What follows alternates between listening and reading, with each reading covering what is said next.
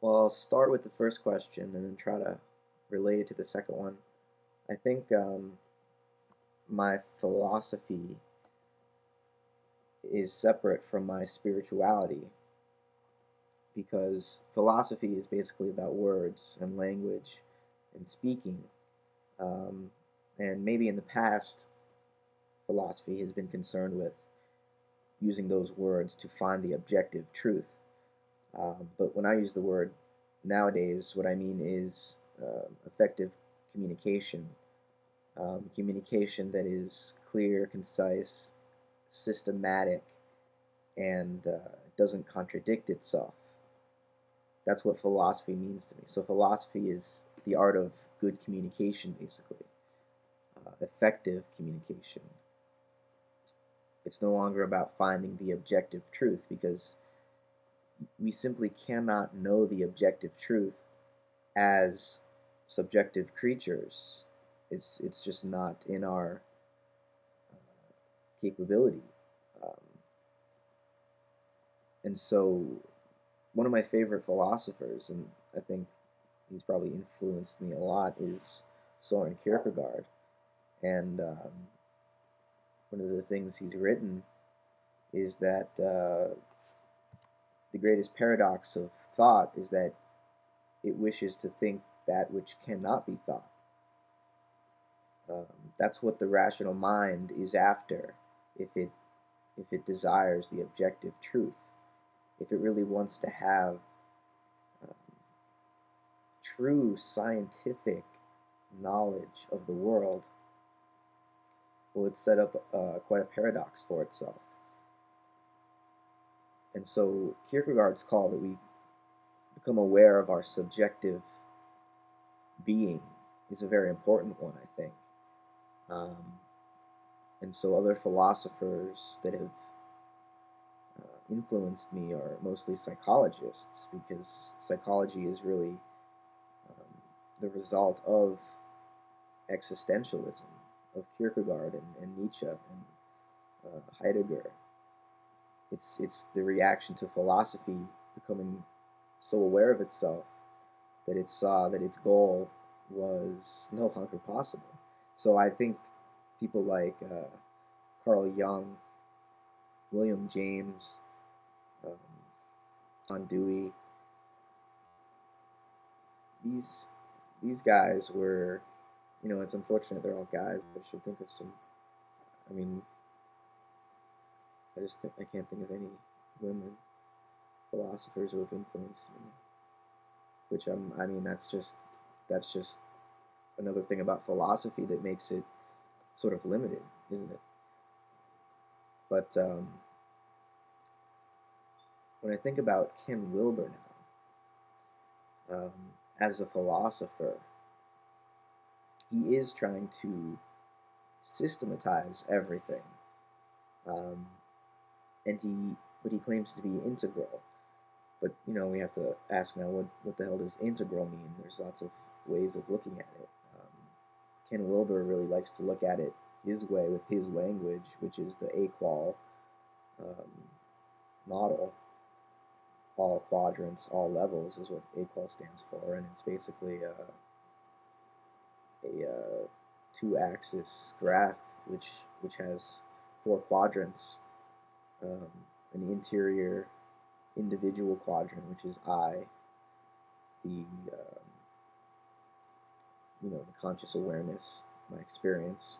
Then there is um, an external individual existence, which is you know the world of matter, like this cup and all the artifacts in the world, my body that you can see with your eyes, that the surface of my body.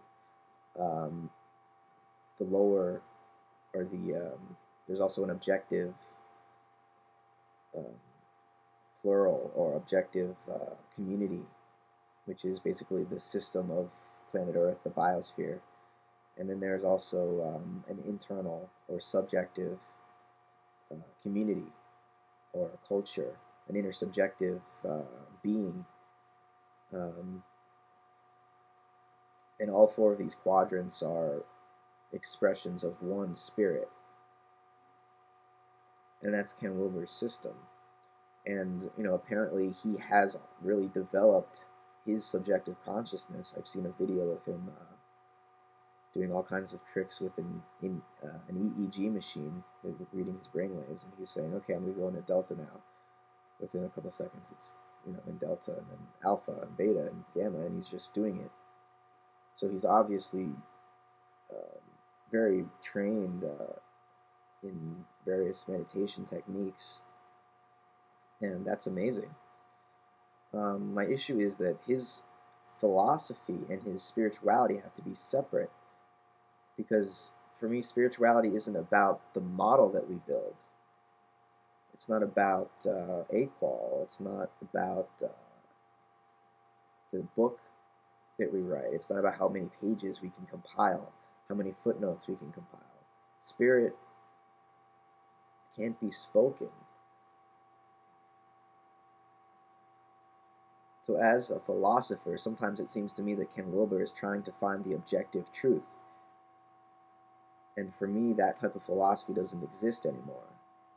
And that's what I think integralism is all about. It's not a philosophy, it's not even a psychology. It's all of that. It's the ability to hold all of that psychology, philosophy, theology, mythology, archaeology, all of that in mind, but also not be uh, trapped by any particular aspect of it, not be compelled to reduce all of existence into one system or one preferred metaphor or model because when you when we do that, we really close ourselves off to an open experience of what being is. Uh, because if we're going to take spirituality into consideration at all, then it requires a transformation of not only uh, how we can train our brains to uh, take certain states of consciousness, but how we can be aware of the world always um, is more of an ever present quality of our being and not just uh, a skill that we have developed. Those skills can be useful, but Ken Wilber's just not a mystic. And so he doesn't he isn't expressing a spirit, he's more trying to describe it very effectively and efficiently.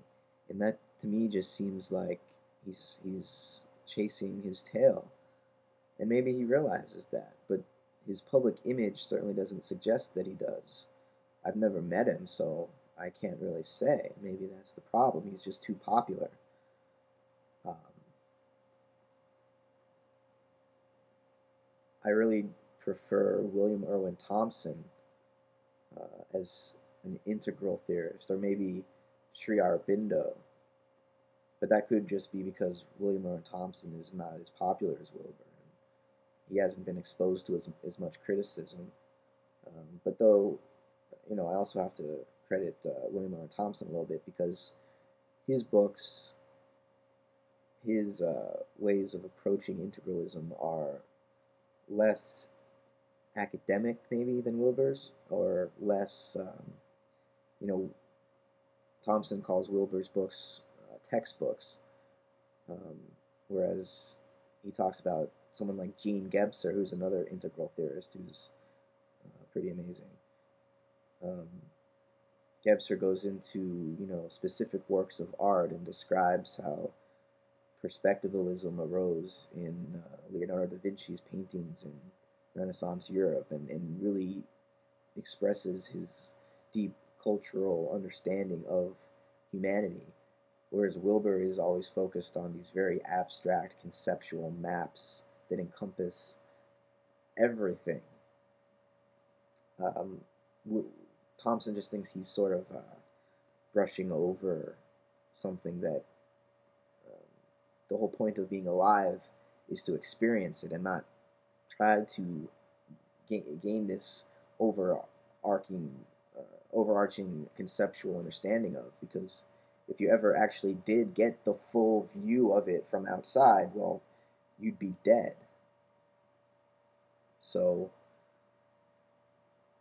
integralism has to be alive. It can't just be a philosophy.